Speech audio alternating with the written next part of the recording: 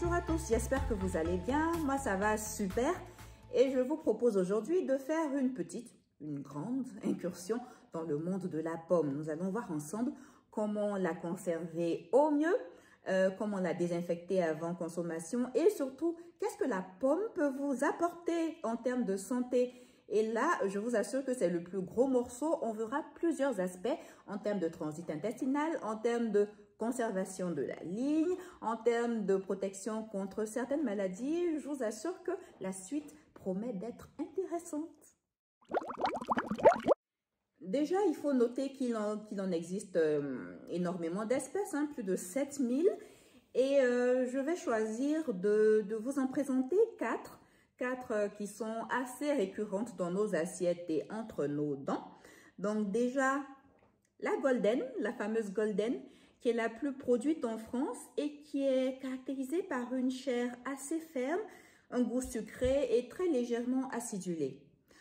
En plus de ça, on parlera aussi de la granny. Je parle de la granny parce qu'elle est aussi euh, très fréquente dans nos assiettes avec sa couleur caractéristique là, toute verte, avec de tout petits points très mignons là de couleur plus, plus un peu plus claire.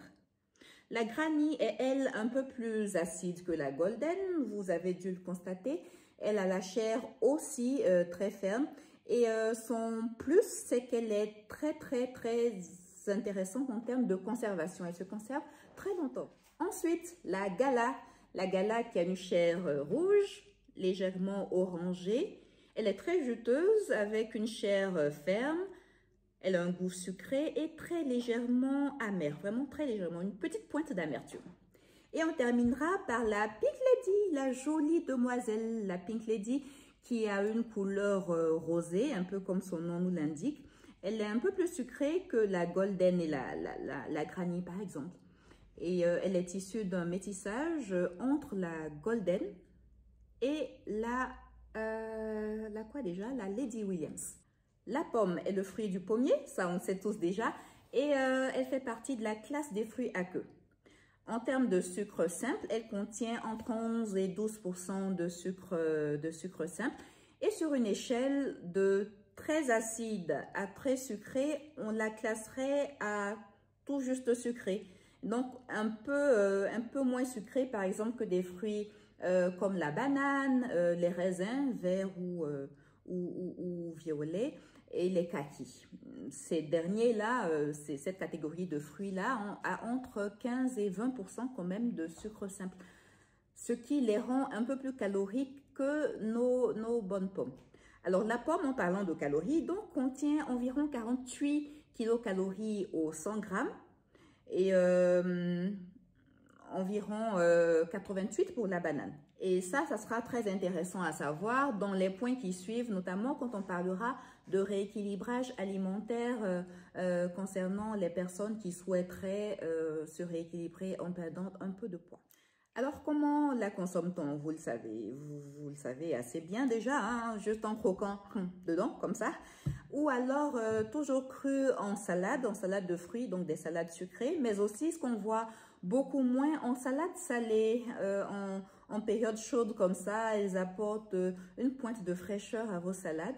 Et puis, on la consomme aussi euh, sous forme cuite, cuite, ouais, une, bonne compote de pommes, par exemple, pour, adultes ou pour enfants même, hein, pour très jeunes enfants. Ou vous connaissez aussi les, bonnes vieilles tartes aux pommes. On la consomme aussi euh, sous forme de cidre ou de vinaigre de cidre et cela euh, bien évidemment après fermentation. Euh, on va continuer avec quelques chiffres. en 2018, la production mondiale était d'environ 86 millions de tonnes, ce qui est non négligeable et qui donne environ une consommation de 77 pommes par habitant de la Terre par année. Bon, on sait bien évidemment que c'est c'est très déséquilibré. Hein. Certaines personnes auront environ 365 pommes euh, consommées par année, pendant que d'autres en chercheront en vain 5 petites. Euh, malheureusement, euh, c'est le cas. Et ces statistiques ne prennent pas en compte non plus le taux de gaspillage alimentaire, parce que bien évidemment, il existe des pommes qui sont jugées esthétiquement pas vraiment à la hauteur ou euh, qui, ont quelques, qui sont abîmés sur certaines parties euh, seront euh, bien évidemment éjectés de vos rayons, juste pour des raisons de consumérisme qui prend de plus en plus d'ampleur, malheureusement. Et concernant ce gaspillage alimentaire, vous pouvez aussi le réduire à votre niveau chez vous dans votre petite cuisine. Comment conserver la pomme? Comment éviter qu'elle ne flétrisse euh, rapidement sans que vous ne vous en rendiez compte, sans que vous ayez eu le temps de pouvoir croquer dedans ou de pouvoir en faire une, belle petite tarte.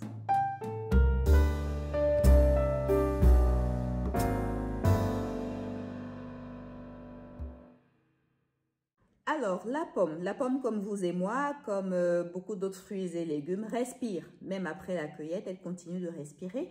Et cette respiration qui est censée nous maintenir en vie, en même temps a des effets collatéraux. Malheureusement, elle contribue à déjà nous faire grandir et puis vieillir, flétrir et, pourrir. Alors la pomme, donc, va forcément pourrir, mais vous pouvez ralentir ce pourrissement-là. Déjà, quand elle n'est pas encore euh, épluchée, vous pouvez juste la conserver dans un endroit qui respire, un endroit à l'abri de la lumière, oui, euh, un endroit frais, mais aussi qui ne, va pas, qui ne sera pas étouffant pour la pomme. Donc déjà, il faut proscrire l'utilisation de sachets, sachets hermétiques. À moins que le sachet ne soit, ne soit perforé, pardon, il faut euh, bien entendu euh, éviter d'y enfermer vos, pommes. Ensuite, une fois que votre pomme est épluchée, et que pour une raison ou pour une autre, vous ne pouvez pas l'utiliser ou la consommer directement, vous avez euh, tous une fois au moins dans votre vie constaté ce phénomène de marronissement, si je puis m'exprimer ainsi. C'est-à-dire votre pomme, la chair de votre pomme aura tendance à brunir, ce qui n'est pas forcément mauvais pour la santé du tout, mais en fait qui du coup devient beaucoup moins esthétique. Et pour éviter ce phénomène, il y a quelques solutions, notamment le rajout de quelques gouttes de citron qui vont créer une sorte de barrière pour protéger la sorte, la, la, la Pour protéger la chair de votre pomme contre l'oxydation que l'air, que l'oxygène de l'air va euh, faire subir à la chair de votre pomme. Si par contre vous n'avez pas envie d'apporter un goût euh, acide à votre pomme, il y a une autre solution qui se présente à vous. Ce sera de euh, créer, de créer une sorte de protection de, votre, de vos morceaux de pomme contre l'oxygène de l'air. Et rien de plus facile, il va suffire d'utiliser du film plastique que vous euh, utiliserez pour emballer vos morceaux et qui du coup créeront une sorte de barrière contre les attaques de l'oxygène de l'air qui ne pourront pas du coup euh, oxyder vos morceaux. On continue de parler de mûrissement, non pas seulement de la pomme elle-même, mais aussi de l'impact qu'elle pourra avoir sur le mûrissement de tout son voisinage en termes de fruits et de légumes. La pomme euh, produit, comme certains autres euh, fruits et légumes, un gaz qu'on appelle l'éthylène qui va avoir un effet d'accélérateur de mûrissement pour tous les fruits et légumes qui seront euh, dans son, dans son voisinage immédiat. Alors ça, ça peut être utilisé de diverses manières. Soit vous voulez préserver les fruits de votre corbeille pendant plus longtemps et donc vous en éloignerez vos, vos pommes. Ou alors, au contraire, vous souhaitez accélérer le mûrissement de, certains fruits et légumes. Et alors, oui, là, euh, vous, vous placez bien vos pommes juste à côté pour qu'elles aient la possibilité de diffuser leur éthylène à, ces fruits et légumes dont vous souhaitez accélérer le mûrissement.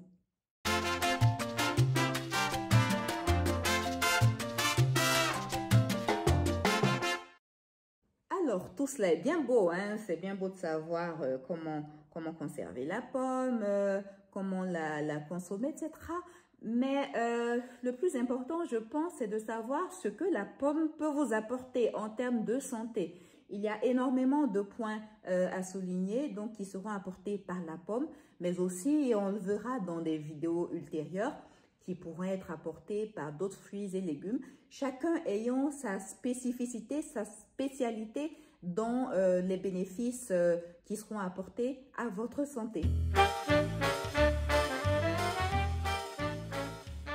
La pomme est un redoutable coupe-fin pour deux raisons. Donc, ce sont deux raisons qui vont intéresser ceux d'entre nous qui ont une fâcheuse tendance au grignotage.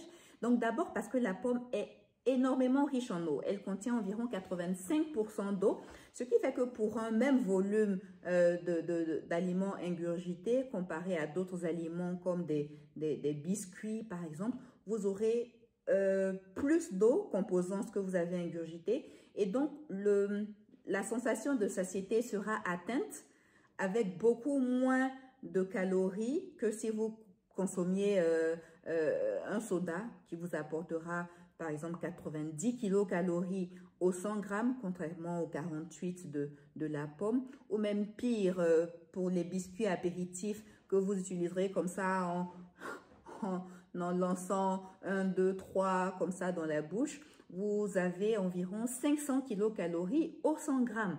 Et là, euh, c'est pas le seul. Hein. Pour des, des, du bon maïs, par exemple, euh, salé, du popcorn salé, vous avez 333 kilocalories au 100 grammes. Ou encore, pour des biscuits de type T-beurre, vous avez environ 400 kilocalories au 100 grammes. Donc, comparé aux 48 kilocalories euh, de, la pomme, qui sera en plus, qui seront en plus, pardon, accompagnées de vitamines, d'apport en vitamines, d'apport en minéraux et en fibres, il n'y a pas match. Hein. La deuxième raison pour laquelle la pomme est un excellent coupe-faim, ce sont ses fibres, surtout contenues dans la peau. Et ces fibres-là euh, qui ne sont pas, qui ne peuvent être digérées par les enzymes de notre appareil digestif vont venir juste en termes de, vont venir augmenter le bol alimentaire. Donc, euh, augmenter le volume, mais sans apporter de calories supplémentaires. Euh, si on compare la consommation d'une pomme à la consommation d'un gâteau, le gâteau vous apportera énormément de calories parce qu'il contient en plus énormément de sucre, alors que la pomme, pour un même volume de, consommation, vous apportera beaucoup moins de, de calories parce qu'elle sera plus riche en fibres et plus riche en eau.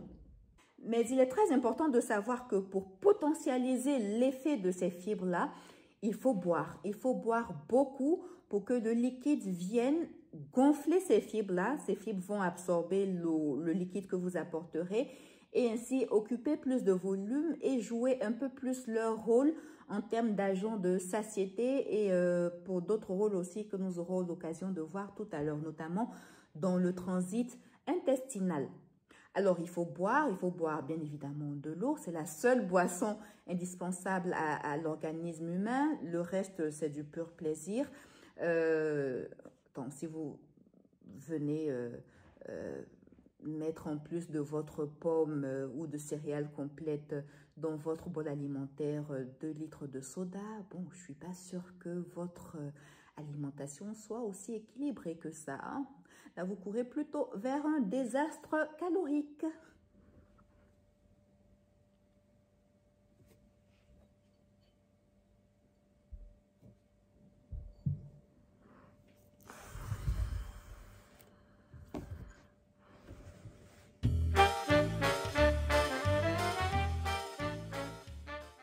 Le deuxième point important à souligner que la pomme pourra nous apporter, c'est le rééquilibrage de notre transit intestinal. Et quand je dis, rééquilibrage, c'est vraiment un rééquilibrage.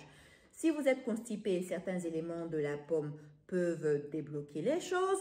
Et si vous avez une sorte, euh, un peu la diarrhée, la pomme peut aussi venir euh, contrebalancer ça et resolidifier euh, les différents éléments. Comment? Parce que la pomme contient les deux types de fibres. Il faut savoir qu'il y a deux types de fibres, donc les fibres insolubles et les fibres solubles. Les fibres insolubles auront pour rôle de venir augmenter votre bol fécal. Le bol fécal, la quantité de caca en fait. Le bol fécal est donc d'accélérer l'évacuation de l'ensemble parce que ça pèse plus lourd et donc avec des effets de pesanteur, euh, le bol fécal va se retrouver dirigé un peu plus rapidement vers la sortie, vers l'évacuation. Et donc, quand vous êtes constipé, ça sera l'effet recherché. Et ces fibres insolubles-là, elles se trouvent où? Elles se trouvent dans la peau de la pomme. Par contre, si vous avez, si vous voulez ralentir la vitesse de ce transit intestinal-là, vous privilégierez plutôt les fibres solubles qui se trouvent dans la pomme et notamment celle qu'on appelle la pectine qui se trouve dans la chair et pas dans la peau. Donc, dans la chair de la pomme, la pectine va plutôt euh, contribuer à apporter un peu plus de viscosité au bol fécal et donc à un peu, vous voyez quand quelque chose est visqueux, ça, évolue euh, un peu plus lentement, vous voyez, donc le bol fécal va évoluer un peu plus lentement vers la sortie et donc ralentir un peu ce transit-là pour pouvoir vous, vous, ramener dans, dans un confort, euh, un confort fécal.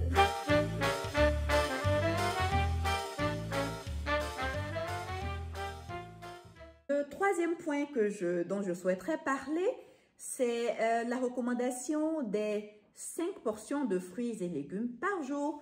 Par contre, ce qu'on ne précise pas souvent, c'est qu'une portion de fruits ou de légumes correspond à environ 150 grammes. 150 grammes qui, ouf, par chance, correspond à la taille euh, moyenne d'une pomme. Alors, euh, pas besoin de, faire beaucoup de calculs. une pomme, c'est une portion quoi pendant la journée. Et euh, autre chose de très intéressant, c'est que la pomme est un fruit euh, très intéressant à manipuler. Euh, vous le prenez, vous le nettoyez et voilà, voilà. Pour le nettoyage de la pomme, comment nettoyer les fruits et légumes que vous consommerez crus de manière générale? C'est très simple, il va suffire de le rincer une première fois à l'eau propre, à l'eau claire. Ensuite, vous ferez tremper votre fruit quelques minutes, hein, juste quelques minutes, dans de l'eau, additionnez d'un peu de vinaigre. Vous laisserez reposer et ensuite vous le récupérez et vous le rincez à nouveau sous l'eau et c'est bon, c'est prêt à être consommé. Donc, vous nettoyez votre pomme comme ça, vous le lancez dans votre sac à dos et voilà, c'est parti pour une belle journée de balade, quoi. La pomme, aucun jus ne, ne, s'échappera de votre pomme, euh, elle n'aura pas de mûrissement accéléré dans la journée du fait de la chaleur de votre, de votre sac. Voilà, on a tout bon, quoi. C'est facile à évaluer, c'est rapide à consommer, il faut juste quelques dents et c'est bon.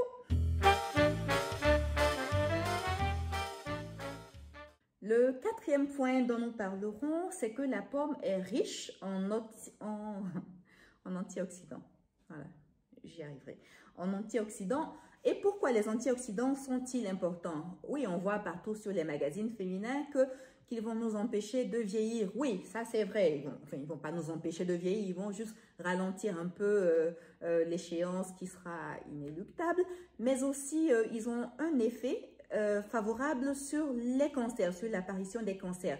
On ne dira pas qu'ils empêcheront tout cancer, mais ils auront le mérite d'influencer de manière positive l'apparition des cancers en, diminuant les facteurs pouvant les générer. D'abord, c'est quoi un cancer? Un cancer, c'est la prolifération de cellules qui ne sont plus, euh, qui ne sont pas fidèles à la recette d'origine. Parce qu'on a chacun, dans notre, euh, en termes de génétique, on a chacun la recette, une recette pour que chaque type de cellule puisse se multiplier chaque jour. Pendant que je parle, là, euh, j'ai des cellules qui, se multiplient. Vous aussi qui, qui m'écoutez, vous avez des cellules en train de se multiplier maintenant même. Et cette multiplication se fait selon une recette. Une recette qui est censée être la même de notre naissance jusqu'à notre mort. Mais malheureusement, pour certaines raisons environnementales, comportementales ou autres ou génétiques, euh, il y a euh, dans certains cas des cellules qui, en se multipliant, ne suivent plus la recette d'origine et donnent des cellules donc qui sont malsaines. Et c'est l'accumulation de ces cellules malsaines-là qui vont finir par générer des cancers, des tumeurs. Et le rôle des antioxydants est notamment de pouvoir faciliter, euh, euh, euh, comment dire ça, la perpétuation du suivi de la recette. Que nos cellules puissent le plus longtemps possible suivre la recette d'origine et ne pas dévier dans des recettes qui vont produire des cellules malsaines. Et ces antioxydants-là, qui apporteront beaucoup à la bonne multiplication cellulaire, se trouvent euh, en majorité dans la peau de, de, la pomme. Et donc, voilà un argument supplémentaire pour en consommer.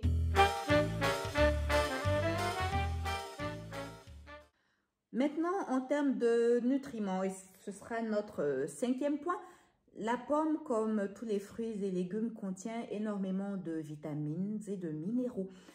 En termes de protéines, ce n'est pas vraiment la pomme qui vous fera grandir, mais mais ce sont ces vitamines et ces minéraux qui viendront euh, euh, euh, catalyser, si je puis m'exprimer ainsi, catalyser les différentes réactions qui se tiendront dans votre organisme en termes de protéines, en termes de lipides, en termes de glucides. Oui, ce sont les vitamines et les minéraux apportés par les fruits et légumes qui viennent pour renforcer, pour potentialiser l'effet de, des macronutriments, des trois principaux macronutriments qu'on connaît, donc les protéines, les, lipides et les glucides.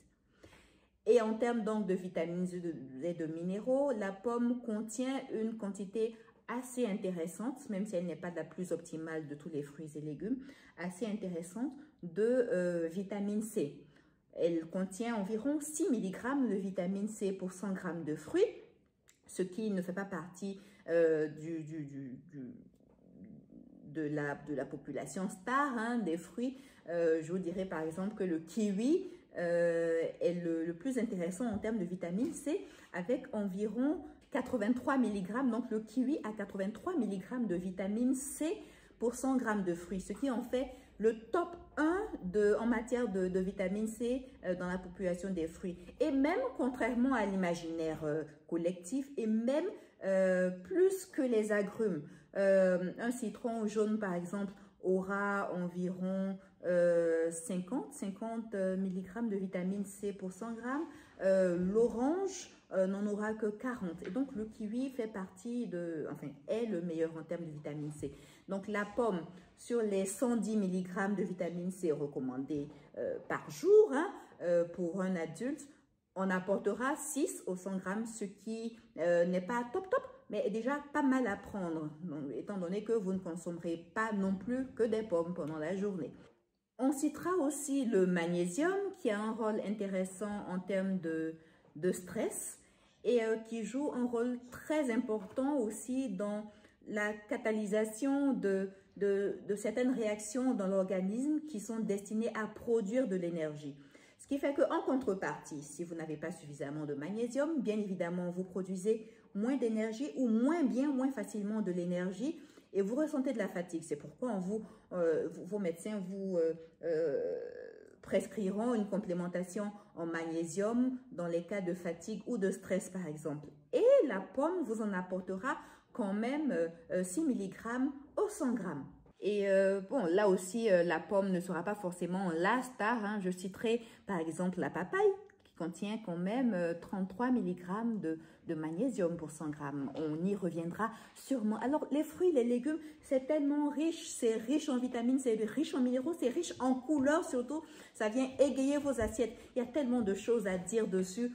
On en reparlera très prochainement dans les prochaines vidéos.